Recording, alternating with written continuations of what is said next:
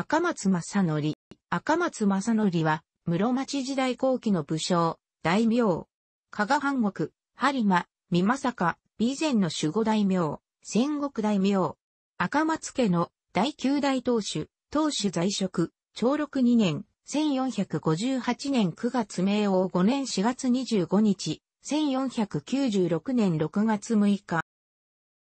下吉の乱で滅亡した赤松家を再興した中高の英主で官僚の細川家に接近して中央政界での影響力を高めて受産味まで上り詰めた。一方で赤松家の戦国大名家も務め、一代で赤松家の全盛期を築き上げた。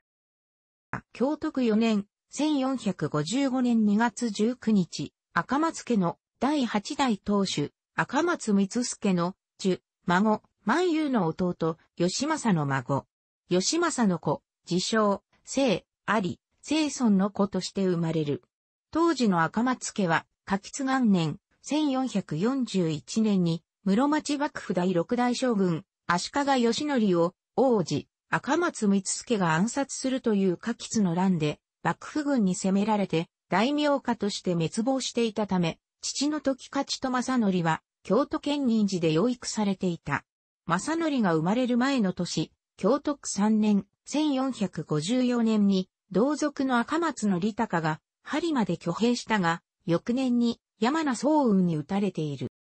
正則が生まれて7ヶ月後の10月に、父の時勝は死去した。母も創生したとされ、正則は幼少期から不幸な生活を送ったとされる。正則の養育には、家臣の浦上の利宗が務めて、主従苦楽を共にし、これが後に大名家に再興した西の正則、則宗体制の原点となった。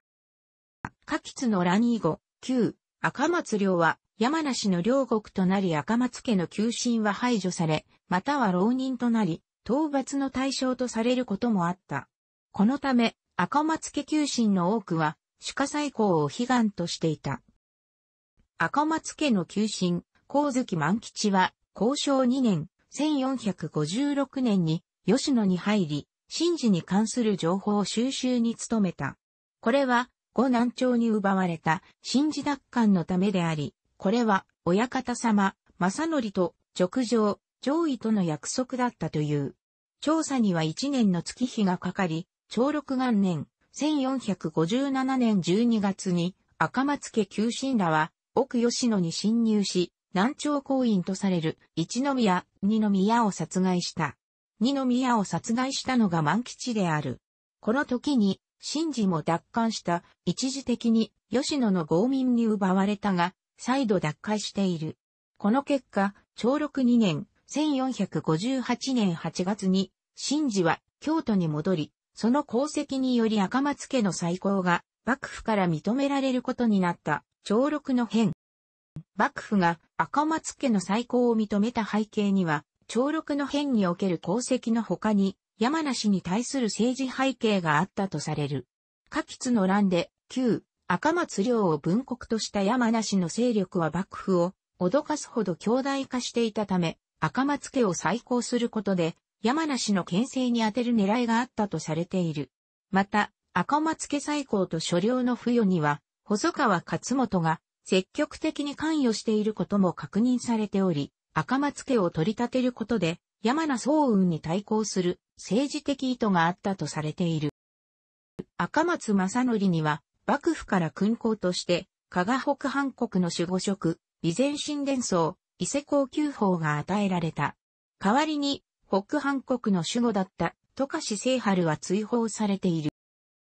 正則は、新しい所領の支配を整備するため、備前には、一族の、宇野上の入道を差し向けたが、備前守護の山名則之と交戦状態となり、新田層のうち、三石、富士の、吉永は含まれるか否かの訴訟まで起こされているが、幕府から退けられた。また、在地の南橋などが赤松家に協力したこともあり、幕府権力と在地勢力に支えられた正則の診療入部は困難を極めながらも開始されることになった。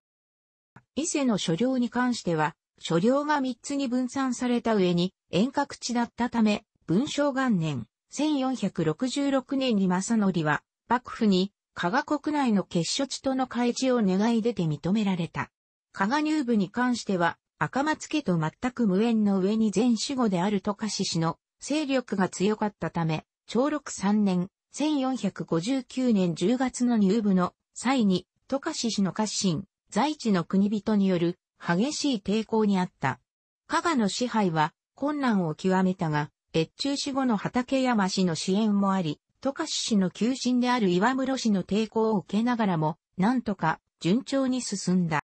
正則の加賀支配に関しては、関連資料が少ないために不明な点が多い。わずかに、影、鈴賢日録や中村文章、光月文書から確認されるところによると、正則は長禄の変の功績に応じて、あるいはその時に活躍した子孫や一族の中で有能なものを選び出して奉行人として編成していたこと、守護代には小寺氏を当てていたことが確認されている。赤松家が再興する過程において特に功績が高かったのは、正則の養育を務めた浦上則宗であった。正則の年齢を考えても最高前後の政治や命令の大半は則宗が実際に出して執行していた可能性も指摘されている。浦上氏は、下吉の乱以前からの赤松家の重臣で、備前守護代や守護直属の奉行人を務めていた。浦上氏は正則没後に赤松家を下克上で倒しているため守護代の典型とみなされているが、則宗の場合は単純な守護代ではなく守護直属の奉行人として、つまりは実務官僚として赤松屋中でその立場と牽制を高めていき、幕府からも山城守護代や侍所諸次第に任命されるなどしてその立場を形成していったのである。干渉3年、1462年10月、京都で大規模など一揆が起こると、則宗を中心とする赤松軍は畠山正長に協力して、鎮圧に功績を挙げたため、戦後に正則は八代将軍、足利義政より勘定と立ちを与えられた。干渉6年、1465年11月、山城西岡で、土一揆が起こると、則宗は、京極氏に協力して、鎮圧に貢献し、こうして赤松家は、幼少の当主、正則を要する、奉行人、浦上の利宗の両体制が確立していくことになる。同年12月26日、正則は、義政の姓の返記を授かり元服する。赤松家旧本拠の針までは、赤松家再興とともに、赤松系浪人の動きが活発化し出した。干渉6年、1465年6月12日には、幕府がこの動きを危険視し、在家を招きそうな播磨浪人衆の名前の中心を山名総雲に命じているほどで、播磨国内における不穏分子、反三名勢力等が結集され始めていた。文章元年、1466年、細川勝元らにより、義政の近親であった伊勢貞親や前奏の木に誠しべ、芝義俊らが政界を追われる文章の政変が起こると、正則も失脚したが、勝本の支援を受けることで政界に復帰する。応仁元年、1467年5月からの応仁の乱では、正則は東軍、細川勝本側に組みした。正則は三名主力が京都に集中しているのを見て、応仁の乱開始直後に山名総雲が率いる西軍と京都で交戦しながら、家臣の宇野正秀らを播磨へ攻め込み赤松氏の丘陵であった播磨、備前、美政に侵攻させた。播磨奪回においては、赤松家の旧本拠だったこともあり、旧臣、浪人から自社、百姓、土民までが協力して数日で奪回した。他の丘陵である、備前、美政も、応仁2年、1468年までに奪回した加賀藩国は、渡嘉島幸家が奪回。文明3年、1471年には、侍どころ頭人に任じられるなど、義政の信任と寵愛を受けた。正則は、猿学の名手であり、それが義政に気に入られた理由という。ただし、給料奪回という悲願が果たされながら、今度は赤松家内部で家督争いが起こった。一族の有馬元家が赤松総領家の地位を狙って、正則に反旗を翻したのである。正則は、応仁2年、1468年に、元家を殺害して鎮圧したが、以後の正則は内紛にも苦しめられていくことになる。応仁の乱は、文明5年、1473年に、東西両軍の首脳である、山名総雲、細川勝元が相次いで死去したため、翌年に、それぞれの後継者である、山名正豊と細川正元が講和を結んだが、正則は、この講和に最後まで反対した。これは、戦乱の終結で脱会した三カ国を失うことを恐れたためとされるが、正則が脱会した両国はそのまま赤松家の文国として保全された。文明10年、1478年、応仁の乱が終結した頃から、赤松家の播磨支配にも動揺が見られ出した。先の有馬市の反乱のほか、文明3年、1471年には、赤松家の一族で、播磨北部に勢力を持つ有田氏が、戦闘御領所の松井荘を横領するという事件を起こした。この時は正則が派遣した、宇野正秀と堀秀代により鎮圧された。だが、有田氏と正則の対立は続き、文明12年、1480年5月にようやく、正則は愛田一族を失脚させたが、同年9月には残党が所領を再度横領するなどした。痺れを切らした正則は、文明14年、1482年ルー7月、愛田一族4名を殺害した。この一連の争いは、有田氏が赤松総領下の家督を狙ってのこととされている。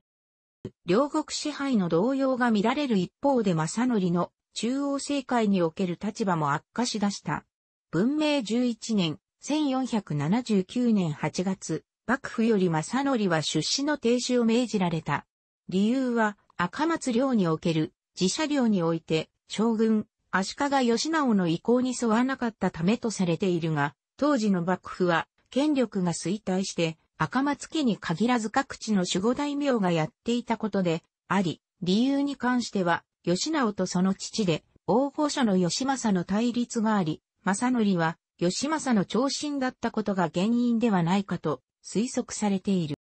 文明12年、1480年10月には、針まで特性に関連する、土一揆放棄の風文も流れ、赤松家は、土一揆を起こすなら厳しく対処すると州都に通告した。このように、播磨など旧赤松領内では、赤松一族の内紛、中央政界での立場悪化から支配が不安定になっていたが、これは赤松家が再興し、播磨を奪回した際に在地の豪族を悲観に取り込んでいたから、赤松家の基盤は彼ら在地豪族の協力で成立しており、彼らの協力を得られなければ、赤松屋そのものが存続できなくなる危険性をはらんでいたことが原因であっ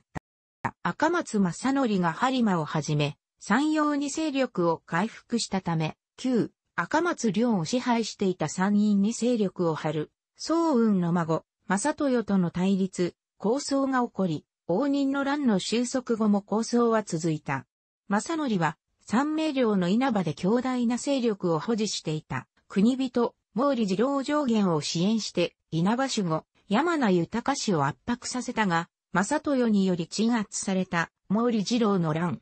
また放棄でも、山名豊氏の弟で、同国死後の元行と豊氏の子、正行による争いが起こり、正則は正行を支援して、元行の追放を目論むなどした山名新九郎、小太郎の乱。このため、文明15年、1483年7月に松田元成が山名正豊軍を手引きしたため、山名方の赤松領侵攻が開始された。山梨の第一次播磨侵攻。浦上則宗より三名軍に攻められる福岡城への救援を求められると、正則は援軍を送る一方で、山梨の本領である田島攻めにこだわった。このため、赤松軍は軍を二分して三名軍と当たり、その結果同年12月25日に真由美峠にて、柿谷氏を主力とした三名軍に大敗し、逆に針前と追撃された。大敗により五詰めも失敗して、福岡城も陥落してしまった。正則は生き残った家臣らと姫路を目指したが途中で行方不明になるなど大失態を演じた。正則の大敗という大失態を知った則宗は、激怒した。この大失態により、則宗と小持続職ら重臣らが一旦実権を握り、正則は、カイロから堺へと出奔した。文明16年、1484年2月5日、則宗は、正則の守護職と家督の範囲を宣言し、新たに、赤松文家の有馬氏から、有馬慶寿丸、有馬元家の孫を擁立する動きを行い、他の有力機関である、明石、頼藤、中村、小寺の各氏を説得し、彼ら全員の総意として幕府に申請を行った。第九代将軍、足利義直はこれを承諾したとされるが、大乗院寺社雑事記では、正則の解任は無効であると記されている。また、正則の失脚はかえって、赤松家内部での分裂を激化させ、赤松一族の摂津有馬のほか、財蓮、広岡氏は、山名正豊に味方して、新赤松を擁立した。堺に逃れた正則は、別所の理事の助けを得て3月に、将軍の吉直と謁見し、12月には、播磨への帰還を果たした。これら、正則の一連の復帰を助けた別所氏は、以後、正則の片腕となり、播磨東部守護代に任命されている。また、一連の赤松の内紛をついた正豊の進撃により、美政と備前を奪われ、則宗、則職の戦王に他の家臣が反発して、正則の復帰を求めて則宗は窮地に陥った。正則は足利義政の仲介を求め、正則と則宗は和解して、三名軍に当たった。文明17年、1485年ウルー3月、眉見峠、影騎乗合戦で正則は、三名軍に対象し、山梨の有力重臣である柿柱を討ち取った。以後、赤松軍は攻勢に転じ、6月に、現在の辰野市で行われた片島合戦で木戦しながらも勝利し、文明18年、1486年1月の映画合戦や4月の坂本の戦いでも勝利した。その後も正則は正豊に勝ち続けた。一方で、京都の細川正元との連携も深め、正豊が細川氏の援軍を得ることを事前に阻止した。山名正豊との戦いは、最終的に坂本城の戦いを最後に決着した。この戦いで敗れた正豊は一時行方不明になったほどで播磨維持が難しくなった正豊は、長教2年、1488年7月に三名勢を率いて、播磨から撤退した。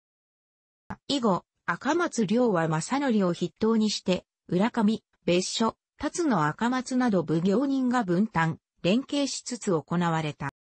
以後、正則は幕府に出資して吉直、第十代将軍、足利義在、吉種に仕え、延徳三年、1491年8月の六角高頼征伐、長教、延徳の乱に従軍し、11月に軍奉行となって勲功を重ねた。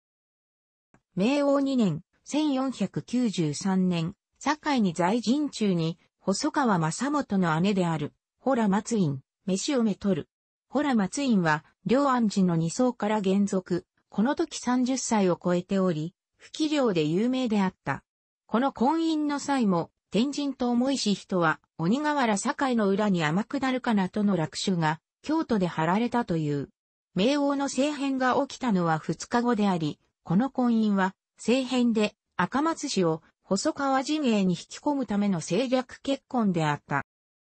明王5年、1496年ウルー2月3日、正則は14下から13味に除位される。3月1日に参代し、3月10日には幹を献上した。他にも親王に2万匹、金利へ1万匹をお礼として信条した。今まで将軍、足利一門以外の武家の三位女位はなかったため、正則の昇進は異例のことであった。これに関して東坊城和町は官僚の細川氏を差し置いて、今度のこと、正則の昇進は納得しがたいと漏らしており、甘露寺親町も家において例なしかと記すなど、正則の昇進は、周囲から不相応に見られており歓迎されていなかった。13位に昇進してからわずか2ヶ月後の4月25日、播磨火災郡坂田の長園寺、旧土地で病気により急死した。もともと病気を患っていたが、気晴らしに高狩りに出ていたところ、予想以上に病が悪化して宿泊先にしていた寺で急死したと伝わる。去年42に、正則が昇進の直後に急死を遂げているため、東坊城和町は、正則が身分不相応な上海をしたので、その罪を天から咎められたなどと記している。正則が急死したため、赤松家では後継者問題が起こった。子に村衆があったが諸子でわずか4歳だったため、ホラ松院との間に設けたこの米氏と一族の七条家の吉村を主和せ、婿養子として後を継がせた。ただしこれは、正則の意思ではなく、重臣の浦上則宗や別所の理事、正治即職、薬師寺高代、赤松測定による画策と伝わる。正則が急死したことや吉村が、幼少のため、赤松家では、浦上氏と別所氏による権力争いが起こり、また、赤松家の国政は吉村に代わって、正則性質のホラ松院が担当した。肖像画は、もともとは、県人寺達中大正院に伝わってしていたが、大正院は後に廃れ、現在はこれを吸収した京都の陸道鎮光寺に伝わっている。造用は室町後期の武将像の一典型を示しているが、勢いのない描線や絹目などから、江戸時代に入った時代に移された模本の可能性が高い。正則は赤松家中高の英種であり、下吉の乱で滅んだ赤松家を再興して、赤松家の戦国大名家も成し遂げた傑物だった。当時の記録でも、異性無双、復帰被験の輩なしと記されている。また少年期に僧侶として育ったことから仏教に対しての信心が深く、法雲寺の僧侶は正則が購入した経典の量に驚くほどだった。ただし正則が創生したため赤松家は混乱し、以後は繊維が振るわず晩秋錯乱と言われる内装が起こって自滅していくことになる。正則自らが猿学に秀でており、その前に人々は感嘆するほどであったと伝わる。そのため正則は、の王や猿学を奨励するなど、一流の文化人として名を馳せるが、猿学士を家臣にしようとして、家中での反感を買ったこともあった。また大名にしては珍しく、東王としても一流で、名工、長船宗光に指示したと言われ、後世にいくつかの名刀を残している。そのほとんどが家臣に与えられたものである。正則は幕府の要職である侍所書士を務めていたため、武家の古実に通じる必要性があった。正則は、投稿として非常に秀でていたが、その刀剣の大半を家臣に与えていることから、恩賞を意図した家臣、両国統制の一環として利用した説も唱えられている。他にも、和歌やレンガに秀でており、それが将軍の足利義政から寵愛を受ける一因になるなど当時としては、高い素養と芸術センスを兼ね備えた一代の教養人であったが、逆に武将としては脆弱でもあり、戦国時代初期に両国支配で苦慮する一員にもなった。楽しくご覧になりましたら、購読と良いです。クリックしてください。